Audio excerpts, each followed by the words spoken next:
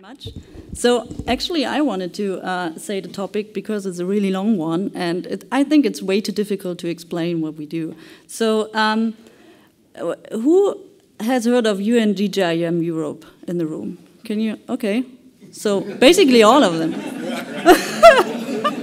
that's that's a good start today. Okay. So what what what are we doing at UNGGIM Europe, and especially in the working groups? So we want to combine statistical and geospatial data. I've been to a few sessions the last two days, and I've heard a lot of combining data, and especially statistical data and geospatial data. But sometimes it's like not really practical. So why, why, why do we need that? Why do we need to combine this data? And I really like this, um, the presentation in the morning today, which was held by um, Hannes Reuter. And he said, okay, we need that because we want to have uh, a 2021 census where we want to combine the data together and we want to have maps of statistics. And that's really the reason why we're doing it. And the second reason is because we have the Sustainable Development Goals, and I think, oh, I hope everyone heard of it already in the room. So the United Nations have new Sustainable Development Goals, and to reach these goals, we have to put statistical and geospatial data together to have new findings and new outcomes and to see how it's working. So, quick introductions. How are we doing that? So we have a working group within UNGGIM Europe and this working group is really on data integration. It's one of the working groups. We have another one on core data, which is uh, Dominique is presenting after my presentation. So we, you will hear about that too. But at first, we want to start about uh, um, working group on data integration. So what are we doing there? Really easy to say. We have two tasks. And one task is the policy outreach paper. So what is the policy outreach paper? I would say yeah, we heard a lot of technical components, how to um, combine these data, but we also need the formal ones. We need to have a letter, we need to have some papers about how can we combine this data and what are the recommendations on combining this data. We want to promote the benefits to the uh, public and to the ministry and all the people. So that's why we're doing a policy outreach paper. And the second one, what's the second task? Also really easy, we have the Sustainable Development Goals. We want to um, have indicators, we want to, to measure them, and before we can measure them, we have to, to look at the data, what kind of data do we have, and can we meet all the Sustainable Development Goals in the future. So that's the two tasks. Again, the first task I'm basically working on is the policy outreach paper. We want to have recommendations um, on how you can improve data integration and also want to address the challenges we're facing in data integration topics. Um, who is it for? The main users will be the senior manager at the National Statistical Institute and the National Mapping Agency. But these people are all people who are related to geospatial data or even have, like, they heard from it. They're not new to the topic. So, and it will be hopefully not that long document, but it will be a lot of written text in it. And um, yeah, we want to address them, but that's not the only thing we want to do. We have a lot of people who never heard of um, geospatial data and combining data and data integration. That's why we do another thing, and that's called the leaflet supporting the policy outreach paper. We want to um, also address policymakers who never heard of geospatial data or not related to that. Like, um, how can you how can you imagine this will happen? This will happen. So right now, in the working group, we're working on um, several leaflets, and we want to to talk about how data integration was done in the past. So we have a really nice example from the Netherlands. Um, I think it was last year or two years ago when the hurricane in the Caribbean struck, St. Martin, and everything was destroyed. Uh, and there, I think probably the first time data integration was really done well because we had, um, or they had like satellite images, topographic maps, and they had real data which they can give to the Red Cross and to the public and they can get the help where it was needed. So that's a really nice example of data integration. Also in Germany we have a nice example. Um, we did a work with our statistical institute where we um, try to look at um, households and how these households um, uh, are spatially distributed concerning schools. So we wanted to see how long is the school, um, I don't know the English word, I'm sorry, um, entfernt? Oh, yeah, how long, sorry, how long is the distance to the school? So that's another one. So um, these are the topics we talk about in the leaflets, just to gain some imagination on data integrations to people who never related to it. Also, as we were writing the policy paper, it's kind of, right now it's a draft, so it's not finished, but we were writing some recommendations and some um, text, but we realized, oh, we didn't know that much about um, some issues and problems within the countries. So another thing we did was a questionnaire, and we just did the questionnaire. The deadline was end of August, and we um, sent it out to 180 UN GGIM members and UN ECE members, and um, uh, yeah, wanted to gain some information. So, what are the problems in the in the countries? And we want to to make measures and want to improve the situation. So, right now, another question to you would be: Have you received this questionnaire, or have you heard about this questionnaire? Some of you, can you raise your hand? Okay, perfect. So if you if you if you filled it out already, that's perfect. We're working on it. If not, I will invite you to do it because as many we can need more data to get a real good um, overview. But again, questionnaire. It's 53 questions, and we have questions about governance and policy, data sources and standards, um, the agenda, methods and technology, and user engagement.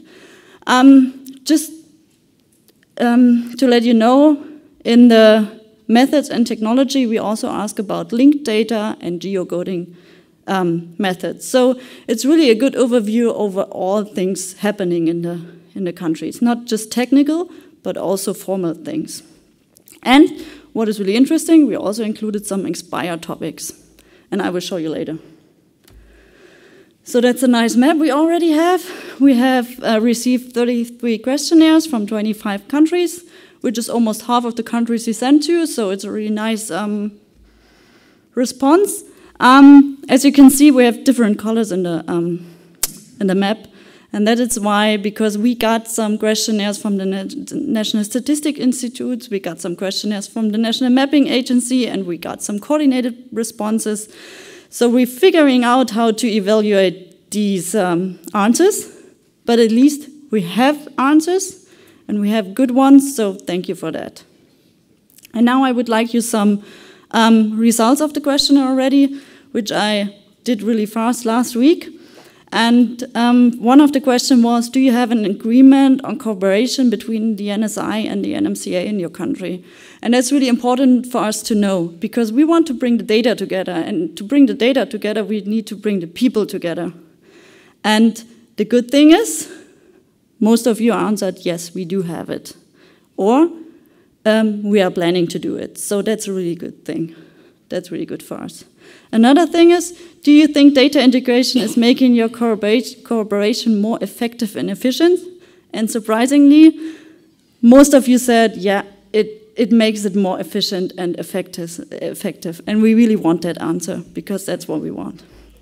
The last one, do you think your data quality will improve using data integration? And also, it was like, sorry, 92% saying, yeah, it will improve our data. So that's also a good question.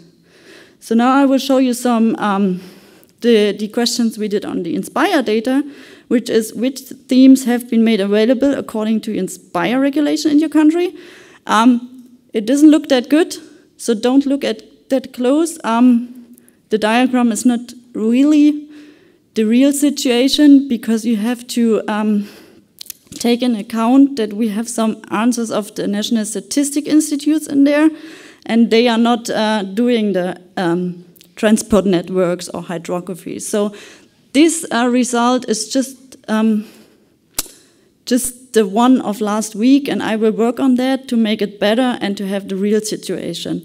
So most of you have um, made the data, data available of the Annex 1, but this is not the right one, just to show you how this will look in the end. And then another good one for working group A, the core data. Um, are you aware of the additional recommendations um, provided by UNGGIM Europe on core data? And also, 84 said, yeah, we do. We, we are aware of these uh, recommendations. And then the question after that was, do you think these recommendations are helpful? And most of you answers, answered, yes, they are helpful. They, they, they are really helpful, somewhat helpful, and um, we can work on that. And that's really a good um, outcome. So the work of the working group A, which Dominique will present later, is really um, paying out. Yeah, so these are some um, first results. We have 53 questions I need to evaluate in the next few weeks. And then when the final report is ready, we have a good situation or good start to do the, the final report or the final policy outreach paper. So, and now my colleague will present you on the Sustainable Development Goals. Thank you, Franca. I don't know how much time I have. One minute.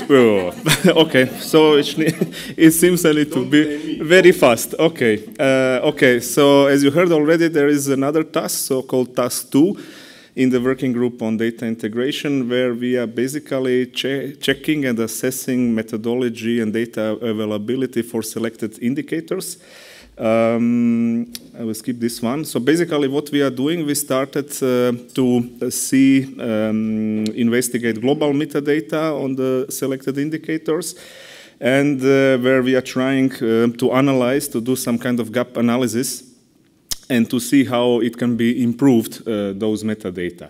Also, we are trying to look at the national practices, uh, current national practices, and all of this will be somehow the input to basically to develop uh, um, some kind of discussion papers on the on the selected indicators, which then uh, will be in the final final uh, report uh, of our of our work.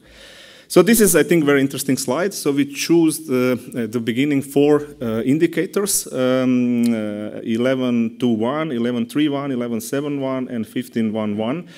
Um, how we selected them, we wanted uh, to include, let's say, indicators from uh, different tiers. You know that there are tier 1, tier 2, tier 3 indicators.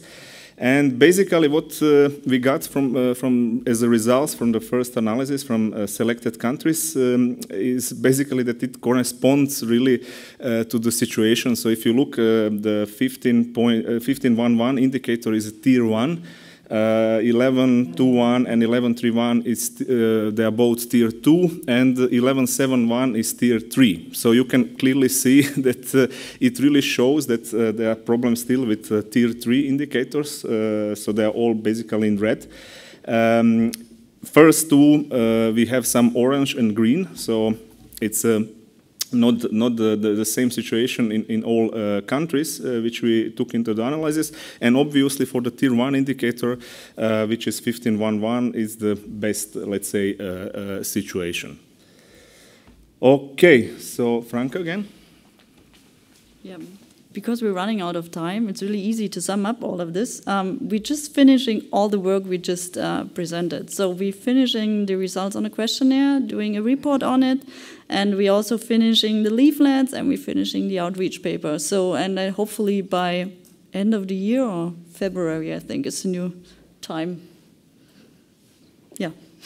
yeah, and just quickly on the task two. So we have a meeting next week in Lisbon where we will try to consolidate all the um, indicators and uh, insert into the final report and then provide feedback to respective UN bodies. Thank you very much.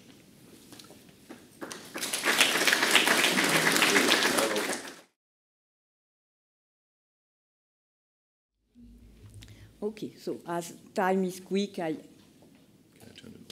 Okay. Uh, it's about core geographic data addressing the requirements of the statistical community, at least we hope so. There are a lot of statisticians in the room, so maybe they can tell me if we are really addressing their requirements. or just imagining that we are doing so. So a quick reminder about core data for the newcomers. Uh, core data, it's an initiative from UNGGIM Europe. UNGGIM is United Nations Initiative on Global Geographic Information Management. And in the regional initiative in uh, UNGGIM Europe, there is a two working group, one about core data that I am presenting, and one about data integration that was presented previously by Franca and Vlado. And the objective of this working group is to define priorities for production of new data. It's about minimum content. It's not ideal data. It's really minimum uh, common requirements. It may be production of new data, of, of course, enhancement of existing data. Core data has been defined in relation with the Sustainable Development Goals. It's priority data, uh, it's geospatial data, considered as the most useful to analyze, achieve, or monitor the SDG either directly or indirectly. And of course, as we are addressing monitoring the SDG, the statistical community is quite involved in it. So what are the requirements of the statistical community at high level? Uh, how have we got, get aware of these requirements? I will say by very classical means. Uh, the first uh, mean is that we have some, in the core data working group, we are mainly from national mapping and cadastral agencies, but there is one exception, a very precious man from uh, uh, Statistics Spain, Ignacio Duque. Uh, and we also uh, try to get requirements from bibliography, from questionnaire, from joint meeting, for instance, instance, we invited some statistical members to one of our meetings when selecting the core data themes. Uh, we invite also the, uh, the, statistical community to review our deliverables. So with all these very classical means, we hope we understand the requirements of the statistical community. So in general, really this UNGGIM activities has been a wonderful opportunity uh, to make the two communities, geospatial and statistical, closer uh, one from one another. So the main requirements at high level, uh, there is need to use uh, geospatial data by statistical community, first to capture, to reference statistical information, as uh, seen in the global uh, statistical geospatial framework, uh, to have common, to have fundamental geospatial infrastructure and geocoding. It's also to compute some indicators and also to display statistical results on maps, all kinds of maps, as shown also in the uh, global uh, framework, common geography for dissemination of statistics. Our, at least is our understanding of the statistical requirements. Let us see them more in detail. So the first one is about capturing uh, or georeferencing statistical data. Capturing statistical data, for instance, during census, uh, the previous practice was to capture an administrative unit, but it was not very detailed, and there were temporal changes, uh, whereas statisticians are very fond of uh, very long rows of data on fixed geometries. Uh, to identify trends and evolution. So there has been a current, there is a current trend that is to capture statistical data on a point-based geospatial framework with three candidate themes, address, cadastral parcel, and building, to enable the aggregation on any kind of geometries and to get rid of the change in administrative unit. So how are we addressing these requirements? What is the core data answer? The first one is that we have selected the candidate themes as core data themes. And we, uh, we built on, mainly on Inspire data specification, but we have added recommendations for content and for quality, uh, mainly regarding completeness. For instance, we are pushing to have cadastral parcel on whole land territory, including public domain, and also pushing the creation of true addresses everywhere, including in rural areas. Uh, typically, uh, at least in France, in uh, small villages, the address is just the village name. There are no street name, no house number, so many families share the same address. It's not a true address. So we would like to, to push, to encourage, to have true addresses everywhere. Another requirement is to have geocoding of statistical data, for instance, a textual file with indirect geometry, such as an address, and then a geocoding service uh, using geospatial data, using some kind of geographic identifier, and enabling to find direct geometry with coordinates, and so to display uh, things on a map. What is the core data answer? We have selected the themes that include geographic identifiers, such as administrative unit, geographical names, address. And we are once again recommendation for content, of course based on Inspire, but adding quality requirement on completeness, as I said previously, but also on semantic reliability, for instance, uh, asking people to take care of, in the spelling of geographical name, in the spelling of street name, because if the spelling is not correct, there will be poor matching uh, between the textual files and the geographic data. And what will be even better is to have reference data for all the files in one country, to have uh, all public bodies using same uh, reference data. Another answer, it's about the content. Uh, we understood that there, there is big interest for postal code geometry, so we are dis discussing if we could uh, extend the Inspire data model to, to add the geometry of the, of the postal uh, zone in the, in the data, because it's of interest as some uh, statistical data, uh, it's a geographic identifier. In fact, the postal code is a geographic identifier. Uh, there, there is another requirement from uh, the statistical community. It's, of course, addresses from the past.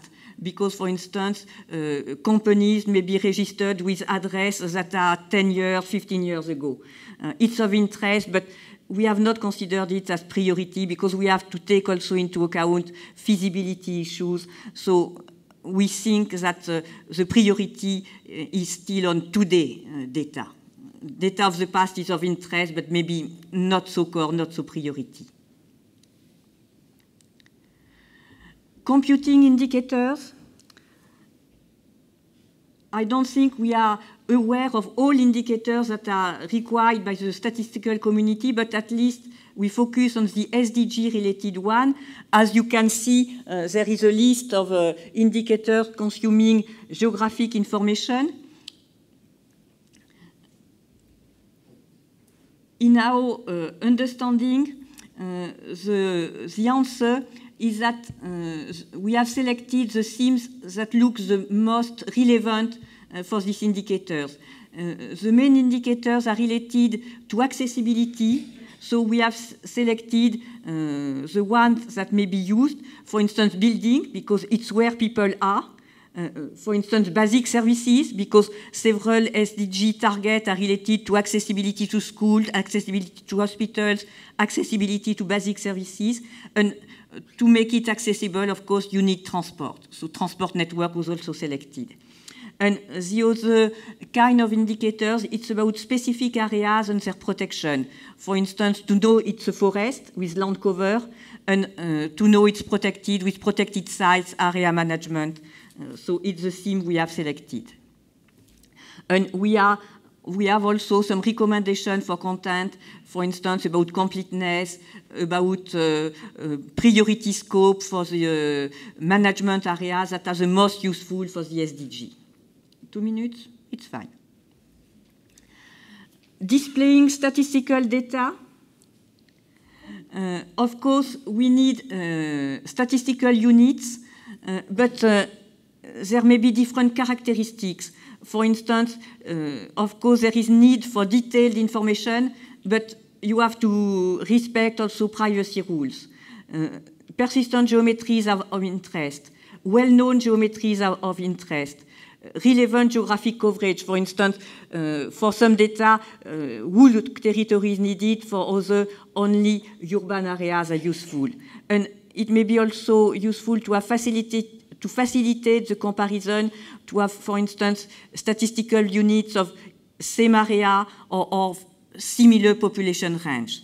So, of course, there is no uh, statistical unit uh, respecting all these characteristics. It's why uh, there is need for several kinds of statistical units. So it was one of the things we discussed more.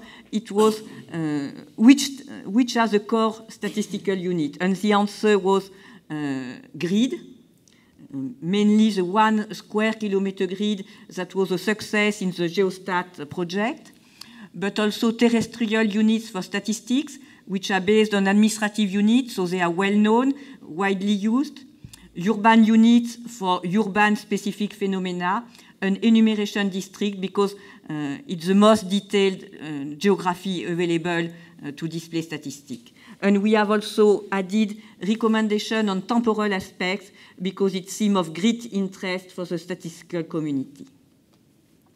So as a conclusion, I will say uh, core data aims to uh, analyze, achieve, and monitor the SDG. It's because of this monitoring role, we have taken great care of the statistical community, but not only, there are other requirements, and I will say even more important than monitoring the SDG, the most important is to achieve them. And we have also uh, taking in mind that it's about priority. So we don't pretend to have integrated all the requirements of the statistical community because we have to take uh, into consideration feasibility issues, cost and benefits. So we take care of the statistical community, but in general, we are driven mainly uh, by the SDG uh, and the statistical community is one of the users. It's a big user, it's a practical user because we have a lot of interrelation, but it's only one of the users. Many thanks for your attention.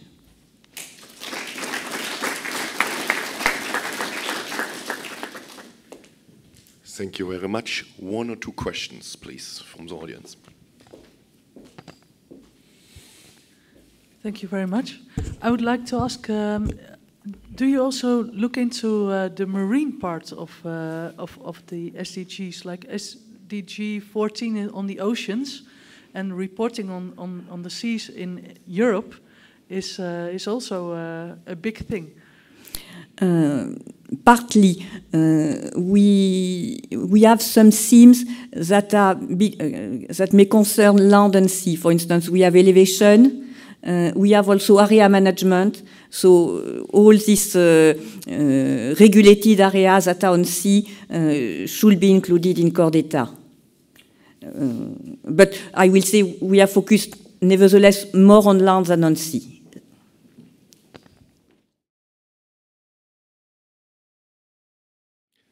Okay, let's talk about um, why this session is called Merging Statistics and Geoinformation.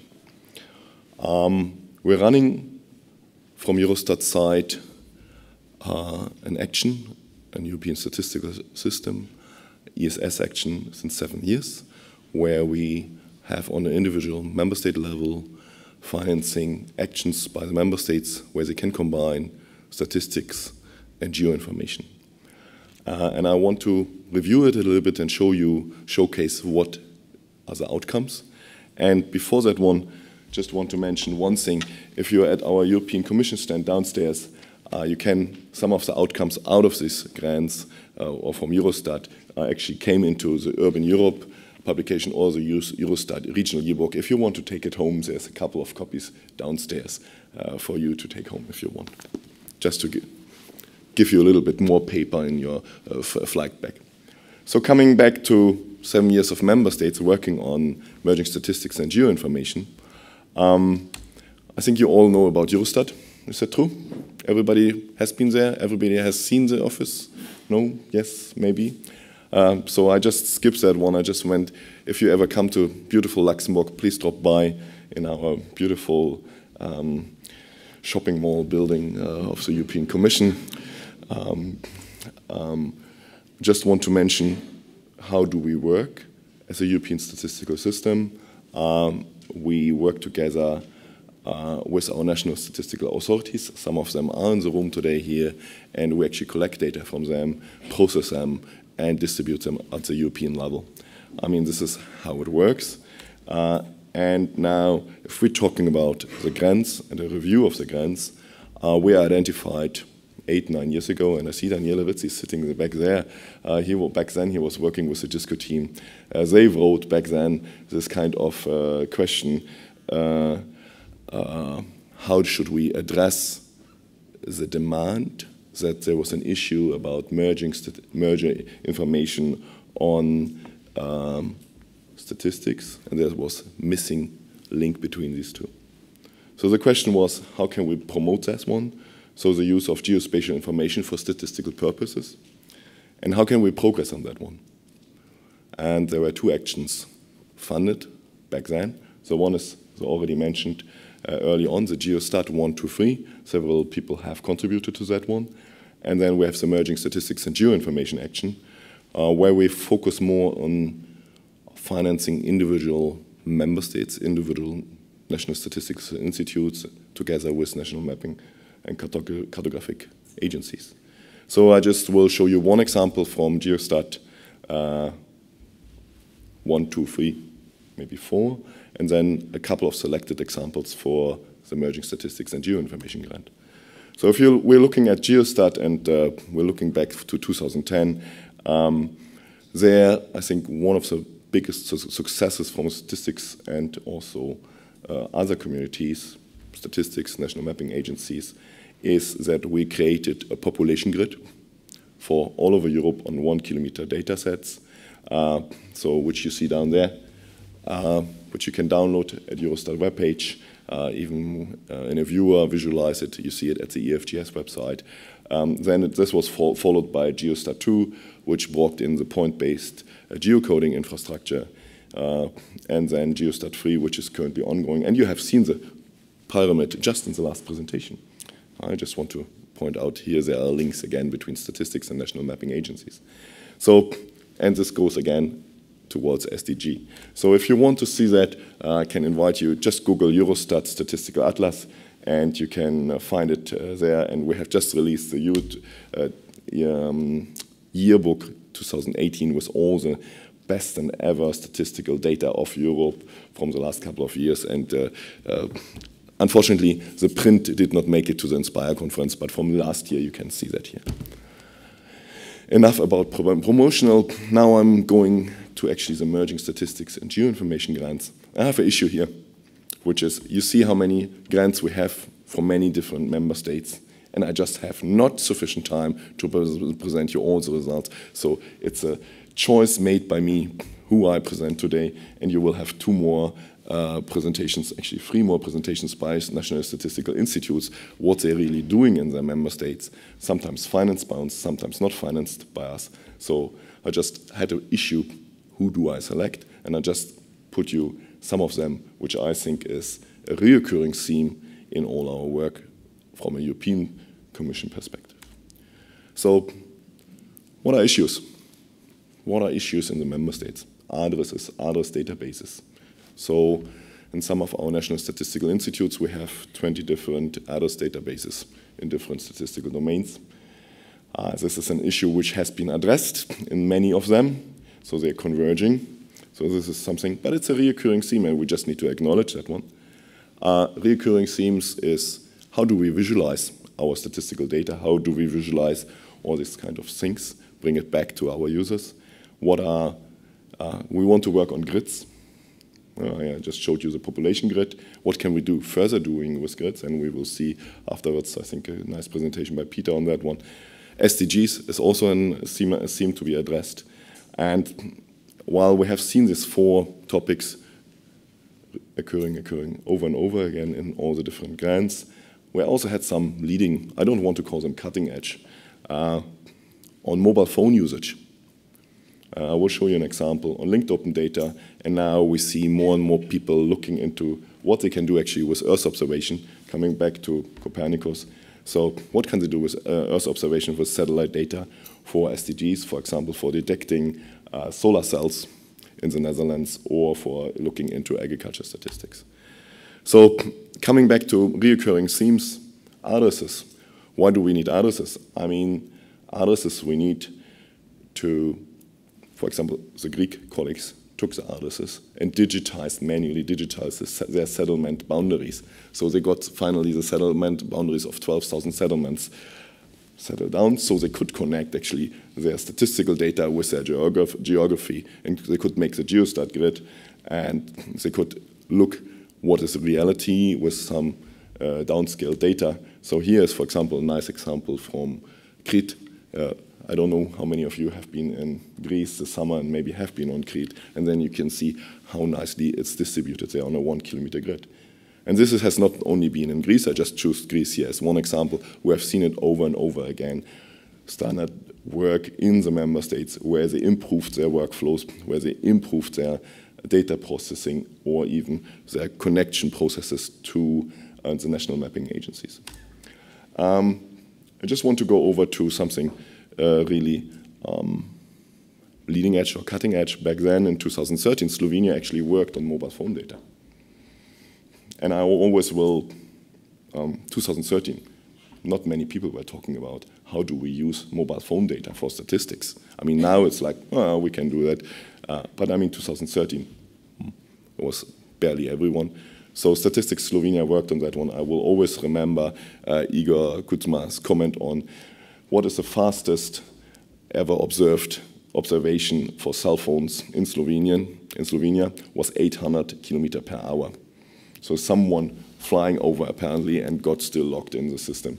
So I mean, there's all kinds of issue out of that one. This is something really interesting. So they talked about accuracy, what you can measure with that one. Nowadays, it's all knowledge, and they worked on it quite recently, and they made nice maps because if you have cell phone data and you have the really measurement down to the to the um, mes message level, they actually worked on the message level. You can make these kind of maps like. Um, what's the population at 1700 and measured by mobile phone data. And mobile phone, sorry, is just a proxy for real population. But just to show you an example. Slovenia also, I just picked Slovenia here again, they were also quite advanced with uh, visualization, with map visualization. They developed Stage, which is now even open source. And from one uh, let's say, viewer visualization, I go to the other side of Europe, I go to Finland. Because in Finland, we had the second NSI together with the National Mapping Agency, which really worked closely together to bring up visualizations. Uh, you see, for example, Statistics Finland data directly in their uh, National Land Survey portal to be visualized uh, in there. So this is something really nice where we see integration of both of them working together. And um, um, yes, and one thing which I want to point out, which is not really, it's maybe hidden more hidden under the surface, are all these grants usually created Inspire services out of that one. So somewhere in the end, there were something Inspire WMS, Inspire WFS uh, created for in, in some of them. And this is something really nice, which I'm, I'm I'm considering why we are also running this session here, where we're merging statistics and geoinformation and we're fulfilling INSPIRE requirements. So if you look at, for example, Finnish data, how many people, number of requests, of service requests uh, are taken out, this is quite impressive, I would say so. So um, now coming back from data processing, visualization, down to analytical tasks. And I think here I'm starting with Finland, uh, where they looked at commuting. So they commuted and they figured out the median for time for commuting if you drive by car or if you drive by bicycle. And they, for that one, they only use the road network and they even use the traffic road sensors, so it even goes into the direction of big data. So, I mean, this is something really interesting, at least from my perspective as a European Commission official, to see that in an individual member state to be implemented. And similar to that one, we have seen grid-based indicators in Austria, where the colleagues have taken similar approaches and doing massive computations to see the accessibility. This is total accessibility of one kilometer grid cell by people where, where they're living and how they can reach certain things. So this is total accessibility. It's a mix out of several indicators. Here we see, for example, accessibility by education. So how much time, uh, what's the distance until I reach my next education uh, facility, the next school, the next university, something like that, or the police station. And you can all that combine that, and then you can uh, do policy analysis, analysis on top of that one. So coming back from grid-based, uh, just want to jump a little bit further down from Austria to Croatia, uh, where the colleagues have actually taken the first time, and thanks to all the work which we had seen here early on on UN-GGIM, core data on the Geostat project, where they actually used geocoding together with the National Mapping Cartographic Agency, geocode all their businesses. So they made maps where they show tertiary sector businesses or something like um, administration and defense offices in on a one kilometer grid. I mean, the, the, ideas or the analytical tasks are endless. I mean, I'm really impressed what people are, the mindsets of people in Europe which are applying and merging statistics and geoinformation. And the similar goes to Latvia. If we're going to the other one, they, for example, used OCR to get old data from 2000 back into their IT system, then to analyze this, um, what's the share of unemployed persons, sorry, is it unemployed persons, yeah, um, in 2000, in 2011. So how did that change? So I go back, you see, how did that change a little bit over time series so that you can, or where actually do we see depopulation in the country or where we see an increase in the population. So, and last but not least, here we go to Statistics Netherlands. Uh, in one of the last sessions, we have seen now a table join service from our Finnish colleagues.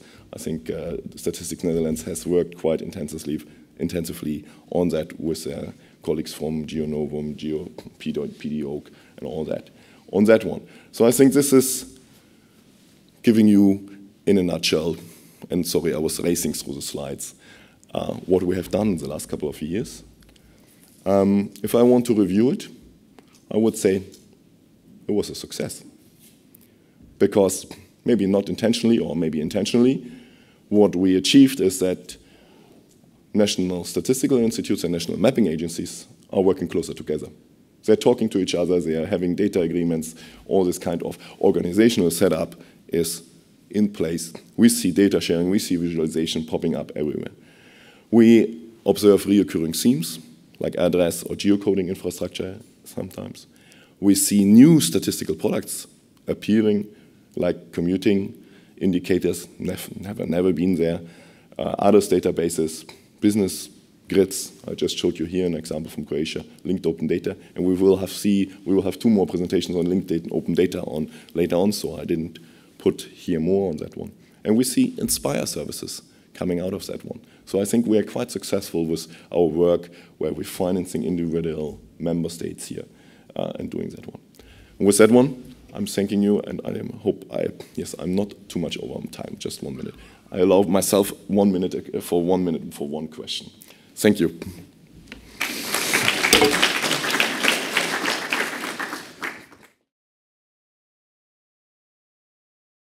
amenities. Uh, amenities are all kinds of services uh, like schools, train stations, or police offices, or hospitals, anything that you, you can think of. Um, and we have a problem with that, because so far we only calculate these distances uh, until the border. We don't take in account the uh, amenities in foreign countries. So for instance, here we have the distance to a railway station. Uh, and you see, uh, the closer you come to Belgium, the more red it becomes. So it looks as if these poor people can never take a train. But we all know we are here in Antwerp, and uh, there's really a very close a railway station. So these statistics don't make sense at the border. So what we want to do is uh, get all the Inspire data and calculate uh, these distances also across the border. Um, so I am uh, uh, going to tell uh, how this works, this calculation of this, these proximities to these amenities. Then uh, I, am going to tell about my search for Inspire data for this uh, use case, and finally I come with some conclusions. So first, uh, the, the, production process of proximity statistics in the Netherlands. Uh, we calculate these distances across the road, and we do that both for uh, roads for cars and also for bicycles. And then for each address in the Netherlands, we calculate the distance to all the uh, amenities. So in this case, we have uh, schools. The yellow dots are schools, and the more red the addresses are, the closer they are to the schools. And you can clearly see, for instance, here, does it work? That these people have to travel a long way to get there. So, because here is something they can't pass, like a canal or so. So it's really calculated across the road and not uh, direct distance. So um, to do this, we need addresses and a transport network. And we are lucky, those are both themes in Annex 1 of Inspire. So we thought, well, this must be able by now because the deadline for Annex 1 is already passed a year ago. So we started. We started to look for the data, and I took this as my research area because this is the part of the Netherlands that sticks most into foreign countries. It's uh, the south of Limburg, and it's, it's uh, connected to Belgium. And we have uh, a Flemish part of Belgium and a Wallonian part. And we also had the Germans as neighbors. So for these areas, I tried to look for data. And I, I first started the search in the thematic viewer. This is a very good tool, and if you, you can just uh, select the, the Inspire theme and uh, then start selecting for a country, and then you see what kind of data is available. But I noticed not everything that I was looking for was in there. So I also started to look a little bit closer into local, local uh, uh, catalog services, and I was happy that for all these four regions there was a local service. So that helped a lot. So here are the results of my research of looking for the data. And what I hoped it was everything was green, but I'm sorry, it was not. Um, what you see is uh, four big columns, Netherlands, Germany, uh, and Wallonian.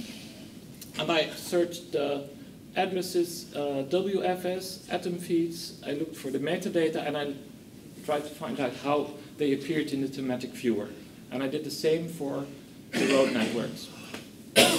so, um, well, don't try to look in this detail. You can download the presentation later because it's too much. But uh, the, main thing I want to say is, is well, it's clearly not uh, ready yet.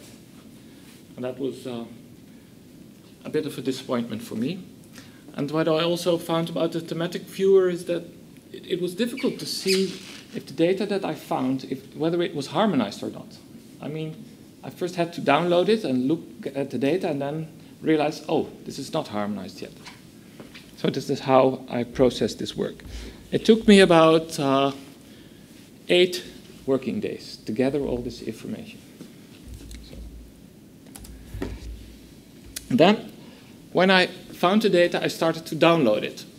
And I did, tried it in three ways. Uh, if there was a WFS, I tried to download it in tools like QGIS or ArcGIS.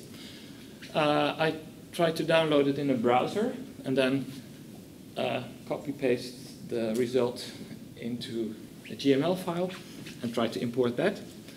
And I tried to import using uh, the whole data set as an atom feed if available. So my, my experiences with the WFS uh, in the browser were that, uh, first of all, it was very difficult to make selection with the bounding box. Uh, because somehow the, the, the coordinates were switched. So you had to download first and see, oh, I get nothing maybe if I switch north, latitude and longitude, and then you get something. But it's, it's frustrating if you have to first find out how, about it. And also, it was not always clear which coordinate system. Sometimes you needed to put the bounding box in projected coordinates and sometimes in lat long. Um, also, filtering was a problem because I only wanted the data in this research area, but uh, I could not filter on, uh, on for instance, on, on, on the, the location where this data was. Uh, it's too complex.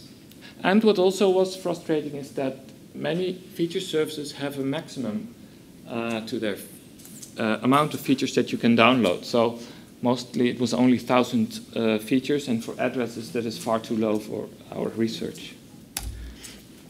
then, um, when I want, when I finally had the data, I wanted to try to use it into tools. Uh, I tried it uh, ArcGIS with a uh, data interoperability extension, and I tried um, QGIS. Uh, and first thing I realized is that the harmonized data with the complex features, they don't work in these tools. So I, I could not get them inside. There were all kinds of errors. I could sometimes find uh, a plugin for uh, complex features, but still it didn't work for us. So that was uh, a big problem. But uh, downloading the GML files uh, in a browser uh, worked a little bit better. That sometimes gave good results, but still there, there were problems because the, there were strange uh, um, references to other places on the internet, and then the GML file uh, was not considered proper by the application, so I couldn't continue. Also here again, the bounding box was a problem. I tried to fill in a, a lot of things, but it didn't work in many times. And actually, I had much better results with the, the, the, original data, the as-is data. And that is actually what you see here.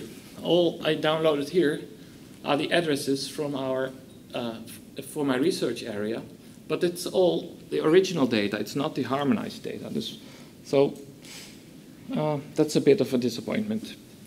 Because when we want to start uh, make our analysis with this data, we first have to bring it to one data model before we can do that. I did the same for the roads, and uh, I must admit that later on I found out that the, the roads in Wallonia do exist, but I had to zoom in a little bit more, and then they appeared. But they were bounded to uh, uh, uh, the, the, scale. So this gives a wrong impression. Wallonia does have roads. um, and also, we found out that it did not always connect properly. So we can't get from the Netherlands to Germany. We have to jump. Yes. I come to my final conclusions. Uh, harmonized complex features, they don't work in GIS systems. It's, it's too complex. I think we should look for something more simple. Uh, and uh, you, you really need to be a GIS expert and also have some expertise in OGC uh, standards to be able to download this data. And finally, I, I would like to say that the retrieving cross-border geodata is still troublesome. Uh, the Annex 1 deadline has not been reached for these themes, but it's much better than 10 years ago because at least I was able to find all the data. I mean, the, the metadata was there. Um, and I did manage to get it into my system, although it took me a long time. So it's much better than it used to be because I think if I had tried to do this 10 years ago, I would not have been able to do it. So thank you for your attention.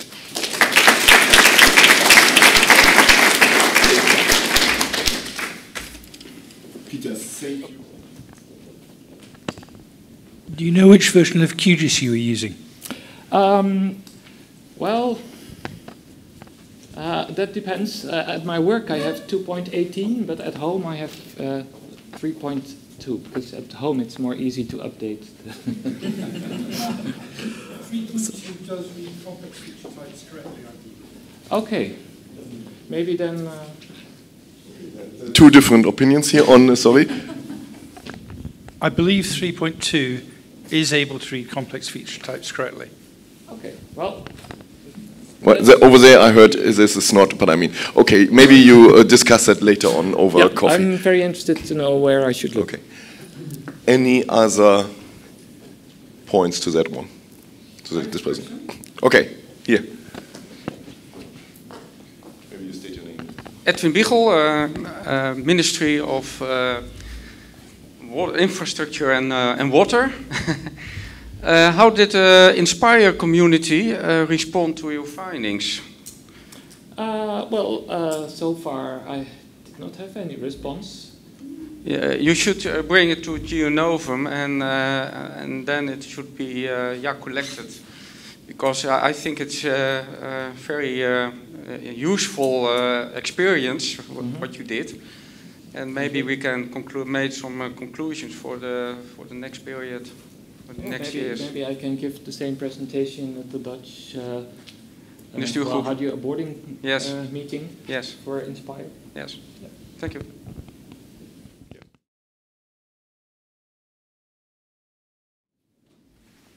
Okay, uh, my name is Mirosław Migacz. I work as a GIS consultant in Statistics Poland.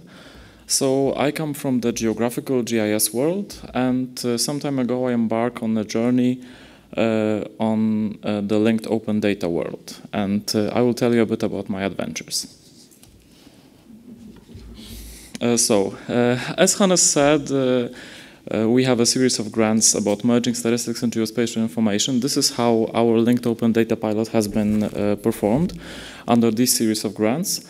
Uh, starting the project, I didn't realize uh, how much more than geospatial information uh, will uh, there be in this project. Some background. What was the main goal of the project? Imagine that uh, we have uh, several databases in official statistics. We have a single uh, statistical or administrative unit for which we want to acquire some data. We ask these databases. Some of them we ask with identifiers, which are uh, numbers. Some, some we ask by alphanumeric characters. Depends on the database. We get our results. Some of them are visible on a computer, some of them are visible on a map, uh, and some are in a publication that you can download from our website. And what is the aim of linked open data in our uh, opinion? We have the same databases, we have the same statistical unit, we have a uniform resource identifier, which is a resolvable link in a browser, which we use to access any of the databases. We get our results, they are all visible on a computer, and most importantly, they are all machine readable. So the specific objectives of our project were to identify data sources we have that we can either transform or publish as linked open data, then identify statistical units for which we can present data. Those statistical units we harmonized, generalized, we designed URIs for them, and then all the data that has been gathered for this project, we transformed uh, as a pilot into RDF data and concluded the pilot with some recommendations for a full-on implementation, which we hope to uh, acquire in the following years. Uh, we took uh, to the project uh, three major databases with statistical data that we have. This is the local data bank. Uh, this is our biggest database with lots of statistical data available for a wide range of years. Uh, we also have a demography database with population and vital statistics and a system for uh, monitoring development according to uh, strategic documents at the local, regional, trans-regional and EU level. This is called STRATEG. We identified all sorts of da uh, data sources that we have. Those include publications, tables, communiques, announcements, and articles. We performed an inventory of all these data sets. Uh, we described them with metadata, including a thematic category, format in which the data is available, their spatial reference, temporal reference, mean, meaning the years for which the data is available. Uh, we checked if these data sources have identifiers of territorial units that uh, mm, the, the, data, the statistical data refers to, and uh, we also indicated the update cycle of these uh, data sources. We performed also a preliminary analysis of openness uh, of uh, these sources, uh, taking into account also redundancy of information and popularity. When it comes to statistical units, after NUTS 2016 entered into force, we have uh, two kinds of territorial units that we use for publishing statistical data. Administrative division, uh, which are voivodeships uh, and units we call powiat and gmina, former LAU 1 uh, and formal LAU 2. And we also have the NUTS, which are macro region, region, and sub-region. We also have some other non-standard statistical units, which are functional areas or urban areas, and these are mainly uh, defined in strategic documents. And those are groups of uh, other uh, territorial units, mainly the administrative ones. Uh, to combine the statistical and administrative division, we have created a classification, we called it KTS. Uh, all the levels of the administrative and territorial units have been combined into one classification, and every single unit right now has a 14-digit code. So these are the examples from the country level down to gmina, which is the lowest administrative division in Poland. All uh, these administrative units we have taken through a harmonization and generalization process. We had administrative boundaries since 2002 for uh, gminas, the, once again, the lowest administrative division. Uh, we standardized the structure, we uh, standardized their identifiers, so they comply with our KTS classification. And after this has been done for the lowest level, we created the upper levels right up to NUTS 1.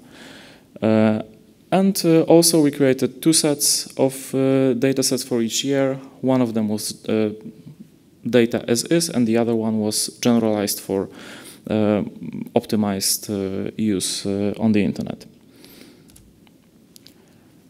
And now the most interesting part, I think, the link to open data pilot itself. I talked about all types of data we gathered.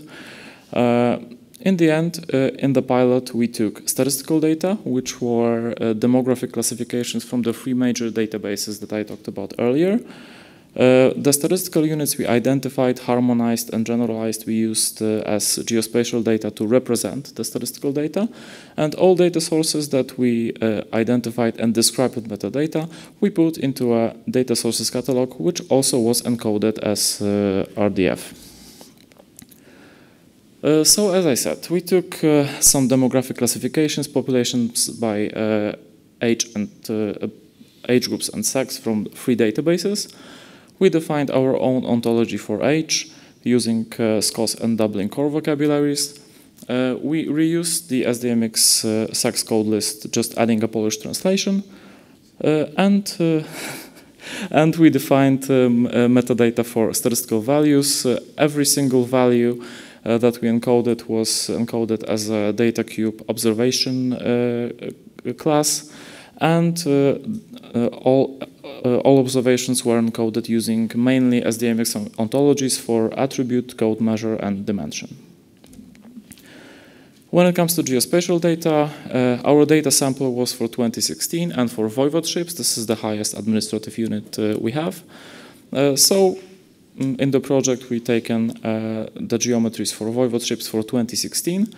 Uh, we built an ontology for the KTS classification I told you about earlier, uh, using uh, RDF schema and GeoSPARQL vocabularies, and uh, every geometry was encoded using uh, well-known text as it is recommended in a GeoSPARQL specification. This is an example of a single geometry of one of the voivodeships. And uh, the data sources catalog was created using the DCAT application profile for uh, data portals in Europe. Every single data set uh, including those that were taken from the database and transformed in this pilot, was encoded as a DCAT dataset class. And uh, wherever we could, we used um, other uh, vocabularies, which I think is the principle of linked open data. So, for example, uh, for thematic categories, we used Eurovoc, uh, we used the EU Publication Office uh, continent and uh, country code list, and Internet Media Type vocabulary for the format of the data sources. And luckily, it turned out that all the data we taken into the project interlinked between each other. So for example, the statistical data had their geometry reference from geospatial data. All the datasets with uh, statistical data have been uh, put in the dataset catalog. And uh, geospatial data also uh, was used as a spatial domain for all datasets that were in the catalog. Some technicalities, uh, we have done our data transformation into RDF using CSV as source files. So this is an example of a source file with statistical data. We used uh, Python scripts uh, and the RDF lib module to transform our CSV files to uh, RDF graphs. And Python allowed us to transform the data into graphs and serialize it in any desired format. This is an example of an RDF XML and uh, a bit more human readable format, which is uh, Turtle. So once you have it in Python, you can push it out in any desired format. All our uh, data we have loaded into a single triple store. We used Apache Jena Fuseki as our SPARQL server. We have a a nice looking number of triples, but this is only an accident. Uh, we loaded them all into a single dataset to allow cross-querying. And uh, uh, this uh, uh, Apache Nafusaki also has a SPARQL endpoint that allows uh, querying data. So this is a few examples of actual queries performed on our test dataset. And on top of uh, this SPARQL server, we also have established a human readable interface, which is uh, linked open data frontend. We use uh, as the software, and this is uh, the main page of the statistical uh, data sources catalog. So you can see uh, metadata about the catalog itself, and there is a DCAT dataset reference with 192 datasets for uh, each of these, uh, there, are, uh, there are metadata. So this is an example of a, a page for one of the datasets. This is population by sex and age groups from one of the databases with its metadata. This uh, is an example of a single statistical value with all statistical dimensions. So I have a value as a number and every uh, other uh, attribute is a link and the geometry. On the left, uh, uh, the main classification, KTS. On the right, uh, one of the statistical units, which is one of the voivodeships, and geometry was encoded as a separate entity, which is seen as the lower image. And finally, I come to conclusions, uh, and there are a lot of conclusions. Uh, the most important one is that uh, while we were doing the project, uh, we didn't find a reference implementation for statistical linked open data. We found some that were out there, but they lacked integrity. Uh, they were not maintained, and sometimes they one authority published contradictory datasets or linked to contradictory uh, uh, vocabularies. Uh, we don't uh, yet have uh, pan-European guidelines for statistical linked open data, but that is likely to change because right now uh, the Digicom project run by Eurostat is mm, having an ongoing ESSnet linked open data project, which will conclude next year, hopefully with some recommendations. We could use common vocabularies, but most of all, I think recommended or dedicated software components. And since I'm talking about the software components, uh, most of uh, the ones we have used are not developed anymore. So this is a problem. Uh, we think that Python-based implementations are stable over time, uh, but uh, uh, Pubby, for example, the front end we I showed you before, is not developed since 2013. Another big issue is the semantic harmonization of uh, statistical classifications. For example, we have an age group from 0 to 5. It can be 0 to 5 or 0 to less than 5. Uh, this issue also can uh, exist at country level, not only on uh, European level. When it comes to spatial data, this is a whole different story. Uh, we had different qualities of uh, data for different years, so we published a whole set of geometries for every single year. A good uh, mm, solution would be to publish a single geometry and publish another one only if it changes. We can do that because we don't have data. But, for example, the UK has done it with their linked open uh, geographies published by their statistical office. And the last slide with conclusions. Uh, good and bad news, both. Most linked open data uh, implementations are technically correct. That's because you can put anything in an RDF graph. But if you can put anything in RDF graph, you have to ask yourself if it makes sense. Uh, and uh, a somewhat obvious conclusions, uh, conclusion in the end, uh, we have had to look over lots of uh, RDF specifications and vocabularies. Those that have, have, uh, have had a UML model with them were much easier to interpret. And just a second. Apart from being a, a, linked open data magician, I'm also a facilitator of a statistical cluster at the Inspire thematic clusters. If anybody is interested in talking about Inspire, right after this session, come to the Inspire booth and I'll be there and hopefully we'll be able to answer any questions. Thank you.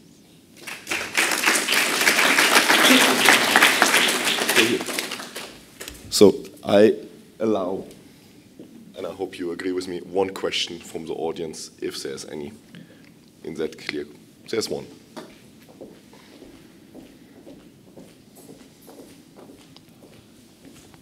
My name is Michal Met, I'm from the Czech Republic, and I'm also working quite a bit with uh, linked open data. So I want to ask about, uh, it's uh, quite clear that you are using ETL, extract, transform, load, uh, and you have, uh, you are transforming all the data at once because you have uh, all the back in the uh, in the GeoSPARQL or in the SPARQL endpoint. So I'm asking about the actualization of the data. how often can you are you updating the data, and how much time does it take to update all at once? Okay, so first of all, uh, the data has been produced in parts because there were scripts written for uh, different parts of data. Uh, second, it was only a pilot on a small uh, data sample, uh, so it was published internally and it was not updated. It was just an exercise for us to uh, learn step by step what to do to publish linked open data. So um, I cannot give you any answers on how uh, it would uh, work with the whole database. Yes, thank you very much. Okay. so my name is Tuuli Vihlema. Uh, I work in Statistics Finland, and I'm going to talk about the project uh, called Integration of Geographies and Area Classifications as Linked Open Data IGALOD. Um, so first of all, what is IGALOD? Uh, it's a two-year co-operational project between uh, Statistics Finland and National Land Survey of Finland uh, partly funded by Eurostat grant program. Um, sorry. um, and the idea is that we want to link the area classifications and the corresponding geographies to publish them as linked open data, uh, utilize them in a statistical production process, and use them to create interactive map applications. Um, expected outcomes from the project. Uh, we will have an identifier system and identifiers and also required ontologies for the geographies and uh, classifications. Uh, we will have an RDF-based solution, including the architecture description. We will be piloting the linked open data dissemination and we also will be piloting interactive map applications.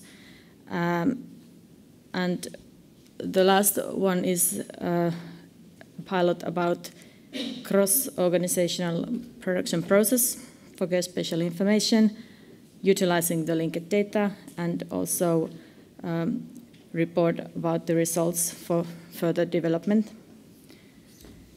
Uh, and the big picture, why we are doing this, we would like to link the GSIM statistical area classifications and the corresponding geographies uh, in, as for example, maybe you can see something, the population statistics and the geostatistics, the geospatial data warehouse, they would be created a link using the metadata warehouse systematically. Um, so what about, what's this for Inspire? Uh, both organizations, we are public sector Inspire data providers, and are, uh, in our case, the uh, data is partially overlapping for administrative units and statistical units, and the base geospatial data have the origin in the uh, National Mapping Agency, so the idea is to test a uh, common production process and, and dissemination platform based on the SPARQL endpoints, and as a result, this in the end we would have less overlapping in our processes and more fluent access to data for customers. Um, other expected outcomes for Inspire implementation. Uh, for mapping agency, this uh, would result that their uh, data would be connected to the statistical area classifications. Uh, so in their data, both statistical and geospatial standards would be considered. Um, another thing, when we're using the unique and accessible identifiers, we would be avoiding overlapping of data production and data duplication. Um, organizations would have own URI services and SPARQL endpoints to provide data in machine-readable format. And for uh, Statistics Finland, at least for our Inspire implementation, we find that this uh, we can have the identifiers that will actually go in line with our organization own needs. Uh, so something about the RDF. Uh, it's uh, acronym for Resource, Resource Description Framework. Uh, it's an abstract data model that can work on top on different syntaxes on different databases, and the information will be expressed on sentences with three parts, and typically each part of the sentence have their own URI. Uh, and the, the RDF graph differs from other data models because here in RDF graph you have all relations possible and and uh, like I said the meanings are expressed as sentences and it's good for uh, linked data and networks. So basically it's good for providing metadata in machine readable format and that's why we use it. Uh, something about the standards for the RDF of classifications, uh, we've tested the uh, XKOS vocabulary. Uh, it is extension of SKOS for representing the statistical classifications. And on the geographies side, uh, in the project we used the Inspire administrative units ontology and GeoSPARQL ontology and some own non-standardized concepts. Uh, so far, about the results, we've selected the uh, classifications and geographies. Uh, the, we've selected the municipality-based statistical units and uh, NUTS and LAU uh, classifications. Uh, we have a draft for the mapping architecture of the common production process. We have some preliminary plans for the identifier service in Statistics Finland, and we had this idea of a so-called fast track, which is for testing the solutions and tools, since this is a um, two-year project, and we want to see the um, uh, if we are on the right track. So it's it's for testing the the solutions. Um, more about that later, but first about the mapping architecture. This is just a draft now. So the idea would be that we would have uh, the geographies transformed to RDF format, and then we would have uh, also the area classifications transformed, and there would be uh, two uh, data banks, and between them we would create a link between the municipalities and the classifications, um, and uh, based on this we could provide the uh, the data from uh, two separate SPARQL endpoints.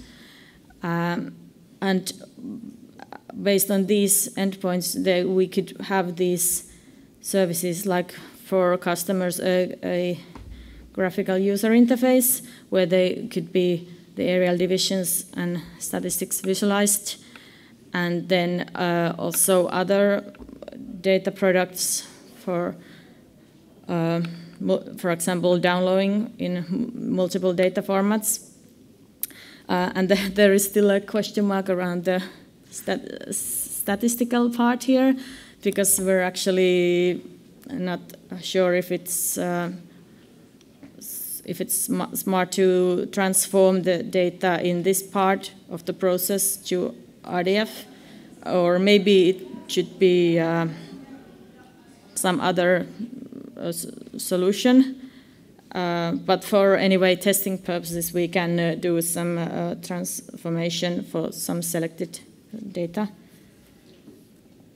And then uh, about the fast track. So the, this is kind of a proof of concept for uh, piloting the ontologies and the RDF transformations, and also the the whole architecture, how we figure it out and, and also to see the end visualization service, how it would work in the whole process.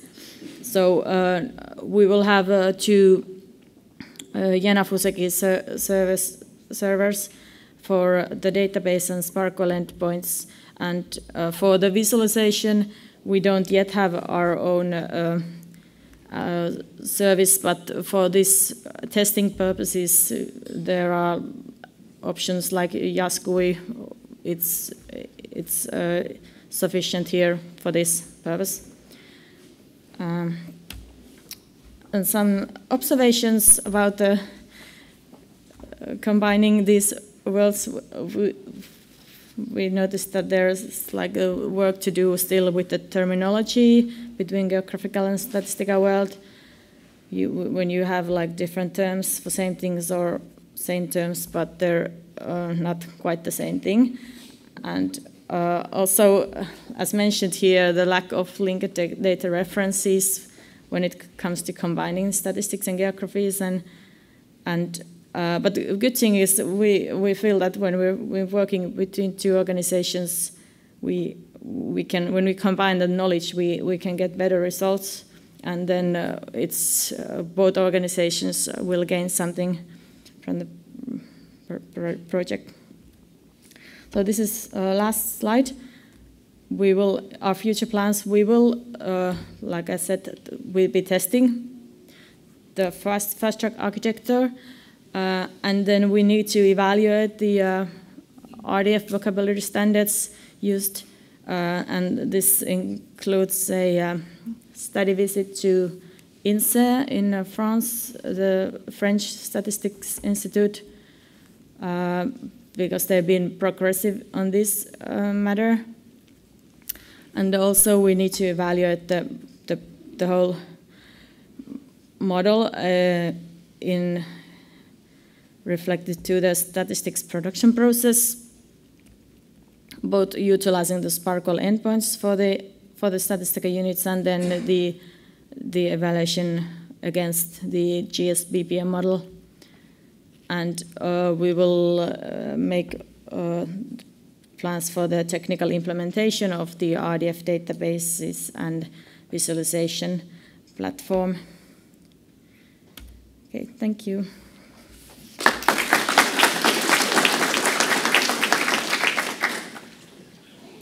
So thank you, thank you all for staying with long. I we have one question for Tuuli. I already see a raising hand there. Thank you. That was a very interesting um, uh, presentation. My name is Hans. I'm uh, with Oracle Corporation, uh, and I was just wondering. You were mentioning that you had problems finding references linking geospatial data uh, and statistical information in sort of other projects around Europe, and uh, I was curious whether you've been looking at work we've been doing, for example, with ISTAT in, in Italy, uh, which is relatively well documented also in the literature, uh, or work we've done with um, Ordnance Survey Ireland, uh, mm. together with Trinity College yeah. and uh, the Central Statistics Office, who, who, I believe are also coming to Helsinki next month yeah. uh, for the uh, event in uh, on geo, um, geodata, the uh, EFT, EFGS, correct? Yes. Yeah. So have I you been looking into those two two projects? Uh, well, uh, yeah, Ireland, yes, but I think we are like still uh, uh, in the middle of this like researching thing for this. Okay, but, I'll be, I'll but, be but, but, but, like yes, still like some yes, but we will yeah look more into detail with them. Okay. I mean, I'll be happy to introduce you to the guys in, in Italy yeah. as well, for example. Okay. Okay, thank you. Thank you.